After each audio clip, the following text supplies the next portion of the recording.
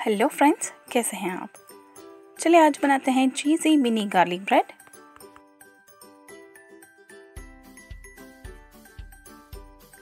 बहुत ही आसान रेसिपी मैं आपको बता रही हूँ, ये बहुत जल्द बनकर तैयार हो जाती है और इसके इंग्रेडिएंट्स भी बहुत ज़्यादा कम हैं। तो चलिए ब्रेड के लिए आटा तैयार करते हैं। मैंने 200 ml गुनगुना पानी लिया है।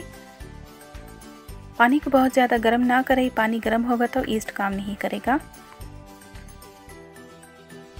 पानी में मिला देना है डेढ़ टी स्पून ड्राई ईस्ट एक टीस्पून चीनी और आधा टीस्पून नमक। सभी चीज़ों को मिक्स करें और ढककर 15 मिनट के लिए साइड में रख दें।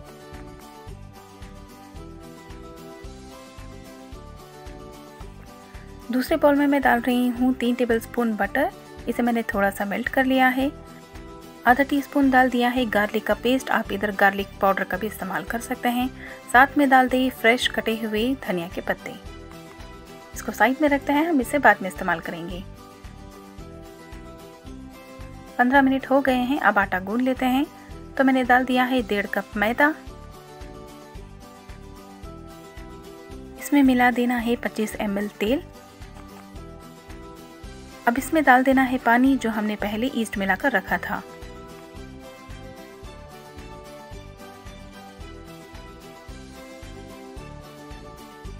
अब इसी पानी में आटे को गूंद लेते हैं।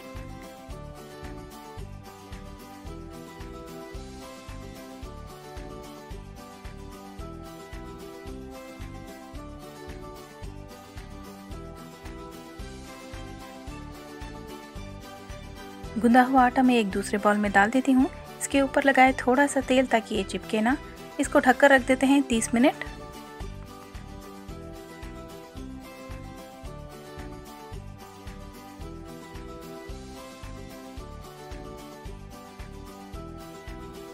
तीस मिनट हो गए हैं, आटा भी काफ़ी राइस हो गया है तो अब हम इसे निकाल लेंगे।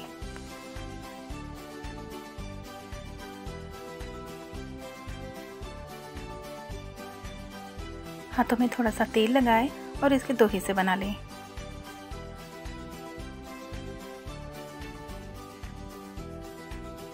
गार्लिक ब्रेड मैं इसमें बेक करने वाली हूँ तो मैं इसे बटर लगा लेती हूँ। अब इसमें मैं आटा रखकर फैला दूँगी। आप बेकिंग ट्रे में या केक टिन में भी इसे बेक कर सकते हैं। आप इसे गैस स्टोव पे भी बना सकते हैं, जिस तरह मैंने चॉकलेट ब्राउनी का केक बनाया था। आपने वो वीडियो नहीं देखा है तो चॉकलेट ब्राउनी का लिंक मैंने डिस्क्रिप्शन बॉक्स में दिया है, आप वहाँ से देख सकते हैं।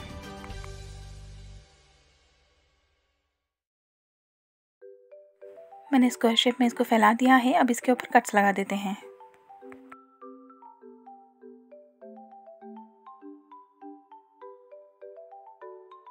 कट्स लगाने के बाद इसको ढककर 15 मिनट के लिए रेस्ट होने देते हैं।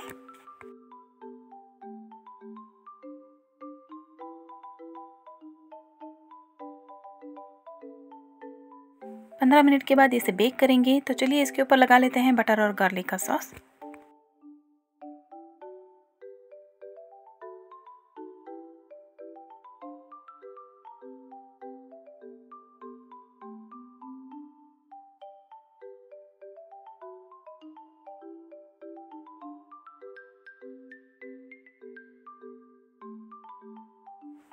बटर गार्लिक सॉस लगाने के बाद जितना आपका दिल करे उतना चीज़ आप इस पर डाल दें।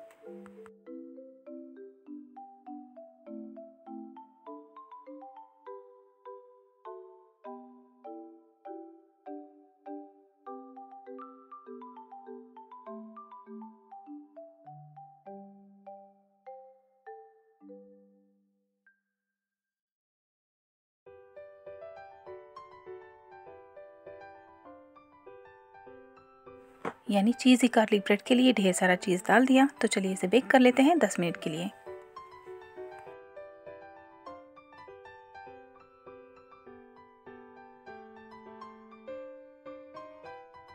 चीज़ी गार्लिक ब्रेड कितना बढ़िया लग रहा है।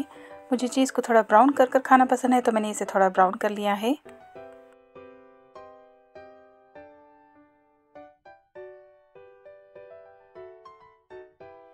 दूसरी ब्रेड में मैंने ये चीज़ को ब्राउन नहीं किया है। दोनों ब्रेड ही बहुत ज़्यादा टेस्टी बने हैं।